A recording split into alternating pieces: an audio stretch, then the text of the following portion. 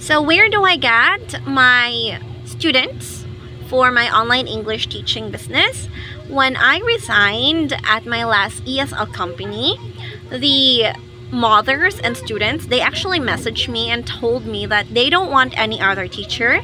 They tried having the new teachers but they don't like them. So they messaged me and I told them okay you can still continue studying with me but this time you pay directly to me and we agreed and we are using PayPal for their payments.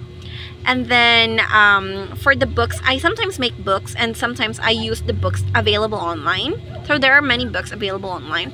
And then um, aside from that so I started with three students and I had this brilliant idea. I had this family discount. So if they refer someone like a friend or family I will give them a discount so instead of $5 per 25 minutes class I will only um, I will only let them pay $4 per 25 minutes class. So from 3 students, it became 10, 11 students, and now I actually gave them away. Some of my students, I gave them away because I was busy in my ghostwriting business. So that's it. So where do you get your clients and students?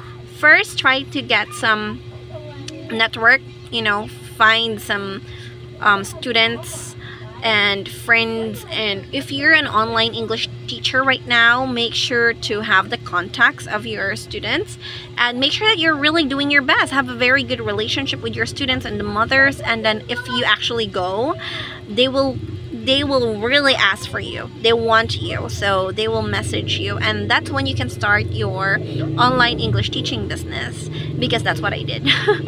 So yeah that's all. Thank you so much. I hope you guys um, could learn from me and if you are planning to do online English teaching at home so uh, this is my tip for you. Have a great day and goodbye. Thank you so much